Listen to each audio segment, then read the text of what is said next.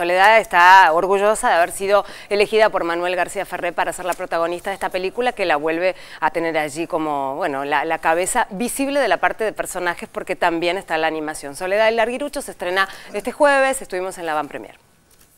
Estoy haciendo la voz de Pucho y estoy haciendo también... La voz del comisario Chulala, que dice, camine para allá, lo voy a hacer repimporo, tiene calabozo. Hay una serie de, personajes que van a ser sorpresa cuando lo vean, porque quería hacer una película realmente con gratitud a la Argentina, que es un país que me ha dado mucho. Lo mío fue muy breve, ¿viste? Sin mucho esfuerzo, natural.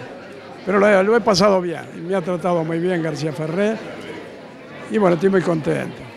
¿Que cante mejor que yo en Arequito? Sí, para mí es increíble, pero feliz porque yo creo que es una oportunidad, un guiño de ojo de estos únicos que me da la vida. Este, y trabajar con Manuel García Ferrer realmente es un, un lujo que no podía dejar de lado, ¿no? Viste, yo creo que todavía sigue existiendo esta cosa de transmitir a los hijos o a los nietos, en muchos casos, eh, cómo fue la infancia de cada uno. Todavía hay mucha charla y eso es importante.